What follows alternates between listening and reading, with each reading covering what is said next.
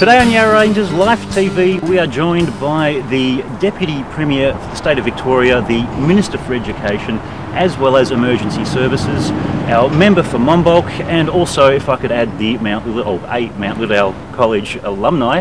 Uh, Mr. Merlino, thank you so much for joining us here on Yarra Ranges Life TV today. Thanks, Pat. Good to talk with you. Thank you. Now, uh, I always ask uh, our, our, dignitaries and guests that we speak to, uh, how? How did you get involved in, in politics?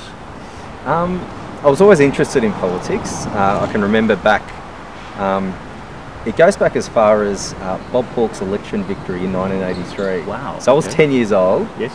Had no idea about politics, but I distinctly remember Uncle Joe popping a bottle of champagne, and I was thinking to myself, what is this? You know, Hawthorn's not in the grand final. No, yeah. um, it's no one's birthday. Um, why, why are people celebrating? So that, that sparked my interest. Mm-hmm. Um, and then I was interested through school. I had a fantastic Year 12 politics teacher, Mr. Desmond, in at Mount Lilydale. I remember him. And, yeah, yeah, and um, then went to uni. Just started to get involved in uh, local community organisations in, in Yarra Ranges, mm-hmm. Environment Group, Employment Group, and uh, just got active in the community and thought I'd give it a go. Fantastic. And out of all the things you can do in life, uh, why? Why politics?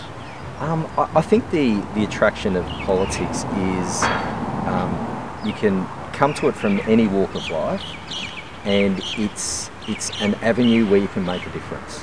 Where you can make, whether it's through legislation, whether it's through something you build or, or, a, or an issue you're focused on, you can make a difference in politics, and um, that's that's what attracts me, and I think that's what attracts most politicians. And, and how long have you been involved now? Because I know uh, when I first met you, you were involved at the local council. Yeah, level. yeah, that's right. So uh, next year, 2017, will be the 20th anniversary of the first democratically elected Yarra Ranges Council. Fantastic. So it'll be 20 years next year. Um, so I did about five and a half years in local government, mm-hmm. and then uh, since 2002 in state state Transition parliament. To state, yeah, fantastic. Um, and over those almost 20 years, um, what would you say for you personally would be your greatest achievement?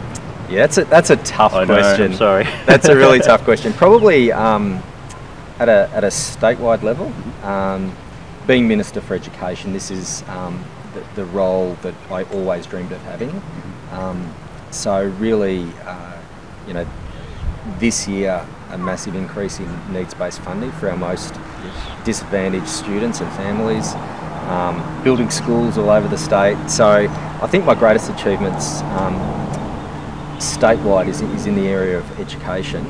Um, locally, there's a whole bunch of projects that I've been passionate about. Um, building Burrinja, uh, funding funding Burrinja was probably one of my favourites. The uh, performing arts facility in, in Upwey. In Upwey, yes. Yeah. I've been past there a few times. Yeah. It's fantastic. And there's a few local school projects on the go now that I'm pretty proud of. Fantastic. And uh, look, being a, a local Yarra Ranges uh, resident, uh, what look, you've got to share with us. What do you love about the Yarra Ranges? Well, I'm uh, 44, haven't moved far.